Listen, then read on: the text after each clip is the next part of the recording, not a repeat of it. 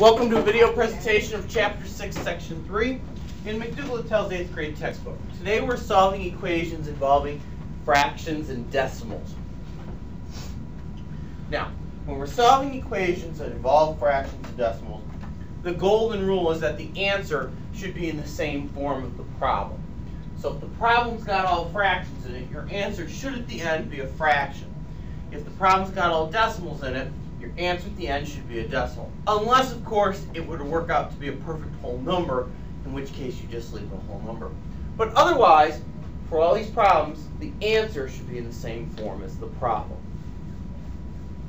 All right, now you can see at the bottom of that left-hand column, there's a procedure described for how to work with fractions, and there's a procedure described for how to work with decimals. With fractions, you have to get a common denominator, once you get a common denominator, you'll multiply the whole equation by the denominator and then solve. Working with decimals, we'll move the decimals equal to the number of places in the longest decimal and then we'll solve. Again, for fractions, we'll get a common denominator multiply the equation by the denominator, and then solve.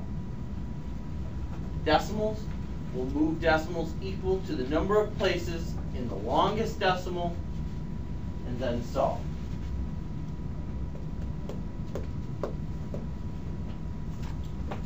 Alright, so let's start with decimals, because decimals are a little bit easier than fractions to work with. In example 1, I have 0.17 plus 0.025 n equals 0.11 plus 0.041 n. 0.17 plus 0.025 n equals 0.11 plus 0.041 n.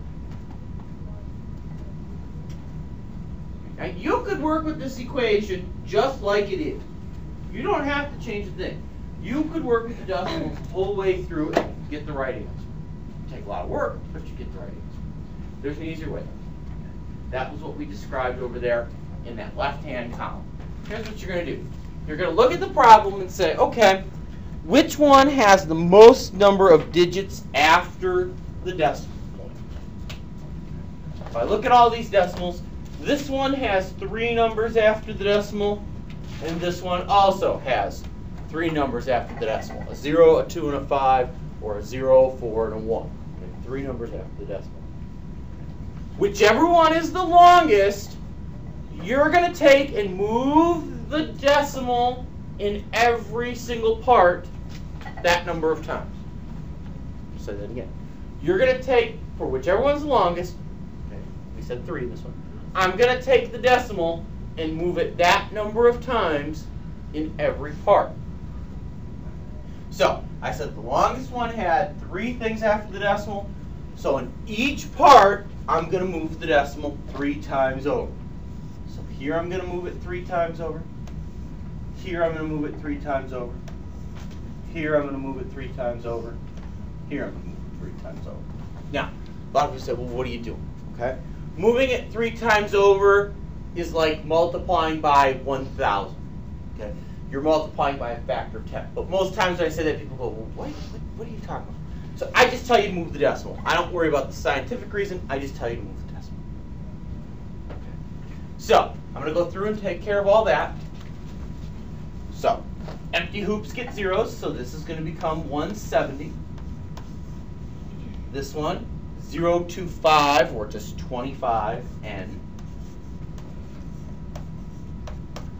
This one, empty hoop gets a 0, 110. This one, 3 over 41n. And look at that.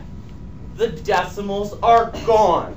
The thing we didn't like to start with is now gone.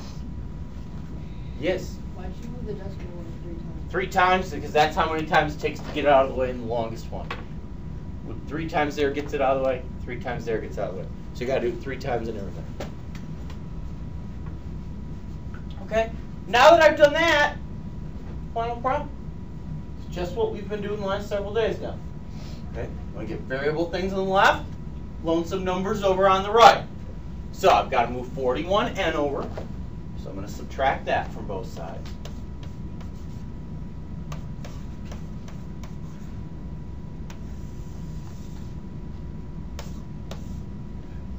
And because I'm out of space here already. I'm going to move 170 in the same step. Now 170 doesn't have anything in front of it, which remember means it's positive. The opposite of a positive is a negative, and negative looks like subtraction. So I've got to subtract 170 from each side.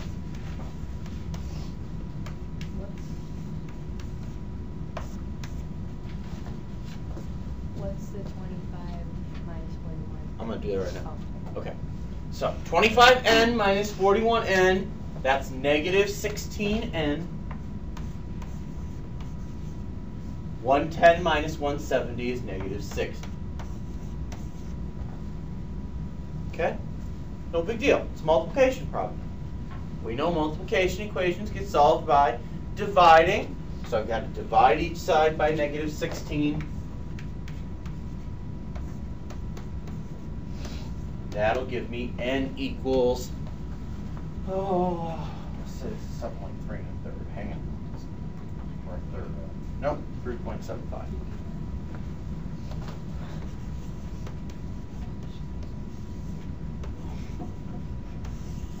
And there you go. So really, other than the first step, which was moving the decimal, everything else you've done. You've solved equations all week and last week, and we did all this. It's just that one new step at the beginning that will hopefully, hopefully, make the problem easier for you. All right, let's take a look at example two. 1.4x minus 1.8 plus 2.35x equals 0.21. 1.4x minus 1.8 plus 2.35x equals 0.21. Okay,